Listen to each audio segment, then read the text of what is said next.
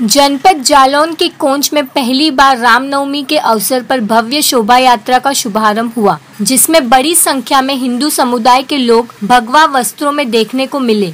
वहीं डीजे पर सैकड़ों युवा हाथों में भगवा झंडा लेकर भक्ति धुनों पर नाचते नज़र आए।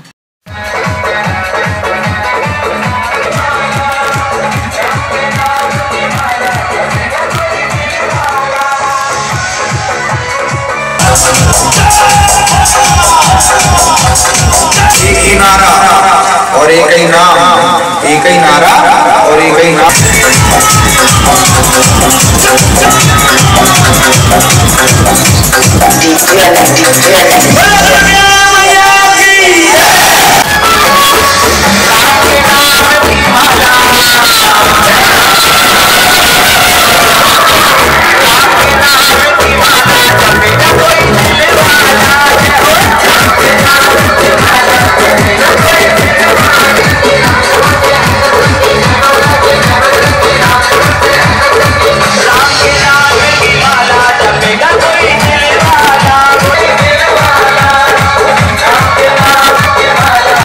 शोभा यात्रा में राष्ट्रीय स्वयंसेवक संघ का घोष भी कदम ताल करते हुए साथ चल रहा था।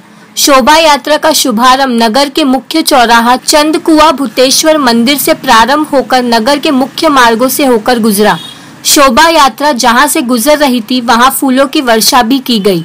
अंत में शोभा यात्रा भारत माता मंदिर पर पहुँची, जहाँ पर शोभा यात्रा का विधि विधान से समापन किया गया। इस शोभा यात्रा में पूरा प्रशासन अमला मुस्तैदी से तैनात रहा। शोभा यात्रा की सुरक्षा व्यवस्था के लिए क्षेत्राधिकारी नवीन कुमार नायक साथ भारी पुलिस बल मौजूद रहा। शोभा यात्रा के दौरान नगर में कई जगह राम भक्तों द्वारा जलपान की व्यवस्था की गई। आशु आप ये बताएँ कि आज जो रामनवमी के दिन राम जवारी निकाले जा रहे हैं ये कहाँ कहाँ से होके निकलेंगे?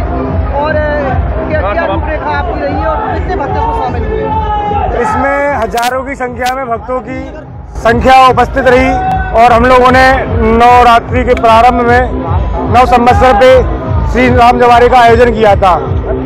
पांचे के पंचमी छठवीं सप्तमी और अष्टमी नवमी को दिव्य दिव्य झांकियों का दर्शन करवाए लोगों को और नव राम नवमी के दिन हम लोगों ने कोच नगर में चंदुआ चौराहा भूतेश्वर मंदिर से स्टेट स्टेट बैंक लवली चौराहा नई बस्ती रामगंज सागर चौकी पुनः चंदुआ चौराहा पर भारत माता पर हम लोग श्री राम जवारे का समापन करेंगे।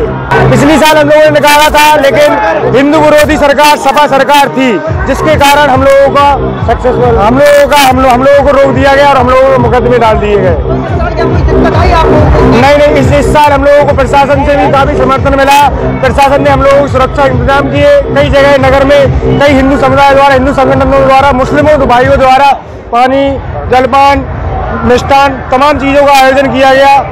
उन सभी लोगों का हम लोग तहे दिल से आभार व्यक्त करते हैं। राम जवारी पारंपरिक कार्यक्रम में जिनकी मान्यता पूरी होती है जवारी निकालते हैं। हम लोगों ने मान्यता थी हम लोगों ने मानी थी। हिंदुस्तान के अंदर समृद्धि हो किसान खुशहाल हो कोई देवी आपदा ना आए। इसलिए हम लोग जब भगवान ने हम लोग सुनी तो हमने उनकी उसमें मन्नत जवारी निकाली। तो प्रशासन ने आपको कितना सहयोग किया पूरा प्रशासन लगा था हम लोग सहयोग के लिए। राम भक्तों में कैसा उत्साह देखने युवा थे सब अच्छा उत्साह था। कार्यक्रम पहली बार था। सब लोग अपने उत्साह से कार्यक्रम में सहयोग कर रहे थे। शांतिपूर्ण ढंग से और अनुशासन में हम लोग साथ थे। अच्छा लगभग एक अनुमान लगा जाए कितने राम भक्त सारा हिंदू समाज आज के दिन सड़क पर था। अच्छा तो अगले वर्ष जो अब रामनवमी आएगी तो इसमें इससे भी भव्य आयोजन करने का विचार रहेगा। देखिए हम लोग फिर भगवान से प्रार्थना करेंगे कोई जिस- ऐसे इस साल हमारे किसान दुकानदार व्यापारी खुशहाल रहे अगले साल रहे तो हम लोग फिर मन्नत मानेंगे और पूरी होगी तो फिर प्रसाद निकालेंगे राम जवारी इस पर रोक लगा दी थी। देखिए, प्रशासन की अपनी कोई मजबूरी रही होगी। और हम तो जानते हैं कि भगवान राम के काम के लिए, राम जवारी के लिए अनुमति ली जाए हिंदुस्तान के अंदर। ये बड़ी संदेहात्मक स्थिति है। राम का काम था, हम लोग निकाला।